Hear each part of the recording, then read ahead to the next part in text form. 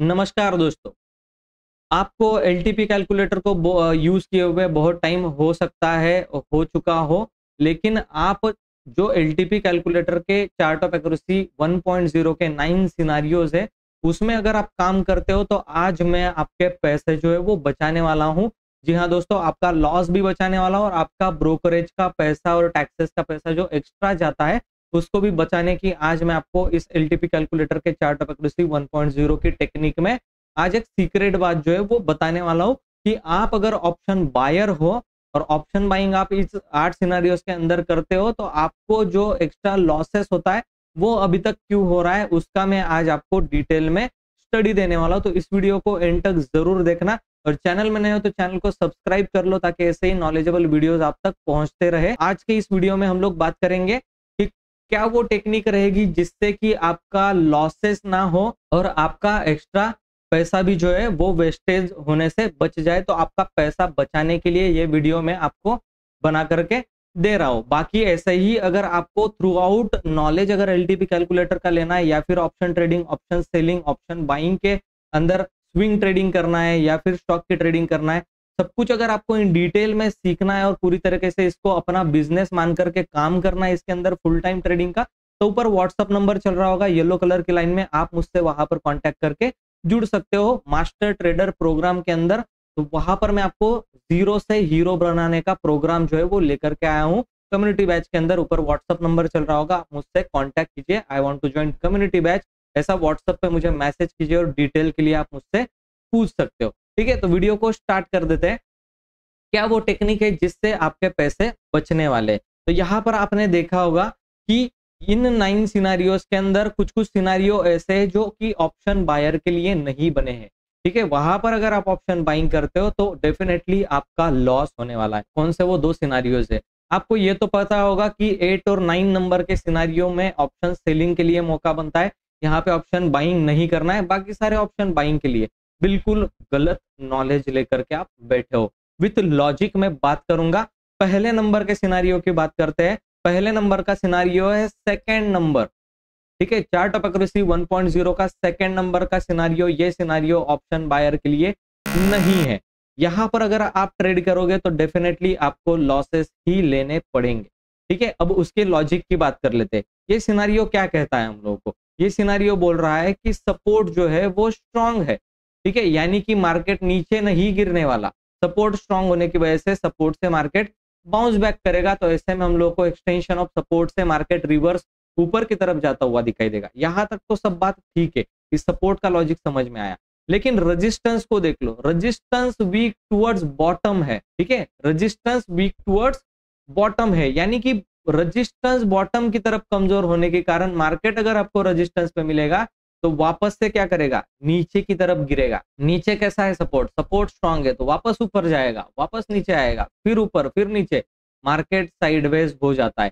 यहाँ पर कोई बंदा बिल्कुल एग्जैक्ट टाइमिंग मैच करके अगर एक दो कैंडल में स्कैल्पिंग कर पाता है ज़्यादा क्वांटिटी डाल के तो वही बस यहाँ पर स्कैल्पिंग का ट्रेड लेने वाला ही बंदा इस आ, इसमें छोटा सा प्रॉफिट बना सकता है। बाकी आप अगर होल्डिंग करके ऑप्शन बाइंग कर रहे हो तो ये डेफिनेटली आपका सेकंड नंबर के सिनारियो में लॉस जो है वो होने वाला है। इसको आपको ट्रेड नहीं करना इसको जस्ट छोड़ दो। इसमें ट्रेड करने से आपका लॉस ही होने वाला है ज़्यादातर टाइम मैं ऐसा नहीं बोल रहा हूँ कि सिर्फ़ और सिर्फ़ लॉस होगा। काफ़ी कम टाइम चांसेस होते हैं कि यहाँ पर आपको प्रॉफिट होगा तो उससे बेटर है इसको ट्रेड ना करना। तो यहाँ पर ट्रेड नहीं करना है, आपका ब्रोकरेज और टैक्सेस का पैसा भी बच जाएगा और लॉस होने का पैसा भी यहाँ पर बच जाएगा, ठीक है? तो ये एक सेकंड नंबर का सिनारियो है। दूसरा सिनारियो और एक यहाँ पर है, ठीक है? फिफ्थ नंबर का सिनारियो फिफ्थ नंबर के सिनारियो में क्या बताया गया?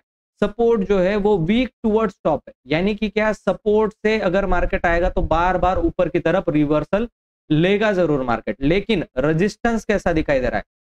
स्ट्रांग दिखाई देता तो बार बार रेजिस्टेंस पे जाने के बाद एक्सटेंशन ऑफ़ रेजिस्टेंस से मार्केट गिरेगा।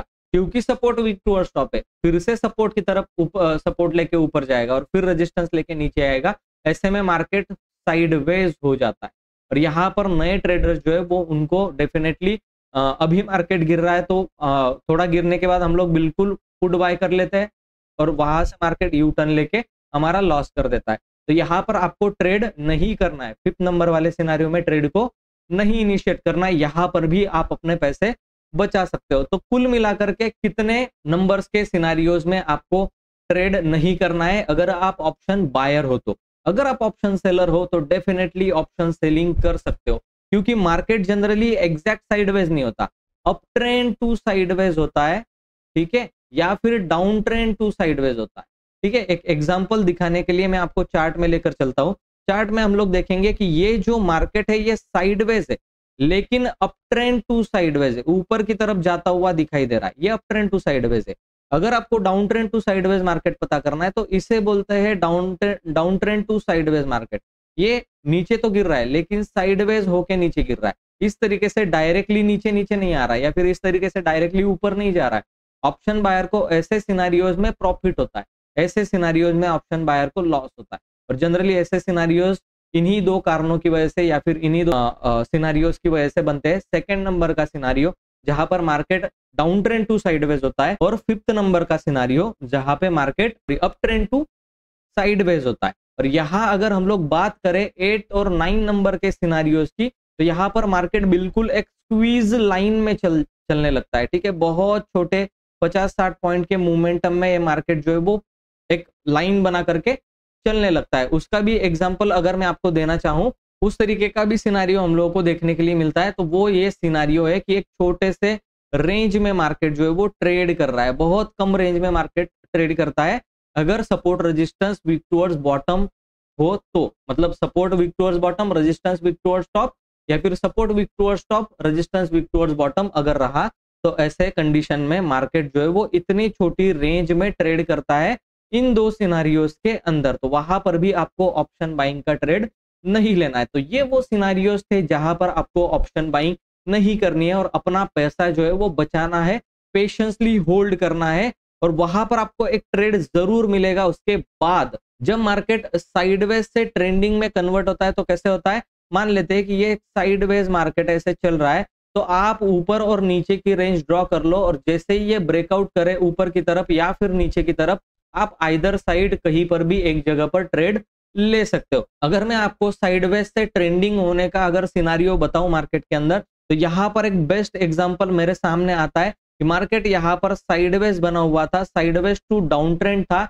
और जब भी ये ब्रेकआउट आया, एक बड़ी कैंडल बनी और उसके बाद आपको मोमेंटम में बहुत बड़ा प्रॉफिट जो है वो ऑप्शन बाइंग की तरफ़ मिला। तो आपको क्या करना है? अगर साइडवेज जा रहा है मार्केट तो वहाँ पर ट्रेड नहीं करना है। उसकी रेंज को ड्रॉ कर लो और उसकी रेंज का जब भी ब्रेकआउट आए तो वहाँ पर आपको ट्रेड करना है। और ब्रेकआउट फेल भी अगर हो तो दूसरी डायरेक्शन में आपको तुरंत ट्रेड जो है वो इनिशिएट कर देना है। तो ऐसे करके आप अपने पैसे को बचा भी सकते हो ब्रोकर ब्रोकरेज भी बचा सकते हो और लॉसेस के पैसे को भी बचा सकते हो और उसको सही जगह पर लगा करके पैसा बना सकते हो, जब आपके पास लिमिटेड फंड हो। थैंक यू सो मच दोस्तों। अगर ये वीडियो आपको अच्छा लगा है तो वीडियो को लाइक ज़रूर कर देना। चैनल में नए तो चैनल को सब्सक्राइब करके बेल आइकन के ऊपर प्रेस ज़रूर कर देना और अगर आपको एलटीपी कैलकुलेटर की कम्युनिटी बैच ज्वाइन करनी है तो ऊपर व्हाट्सअप नंबर चल रहा होगा।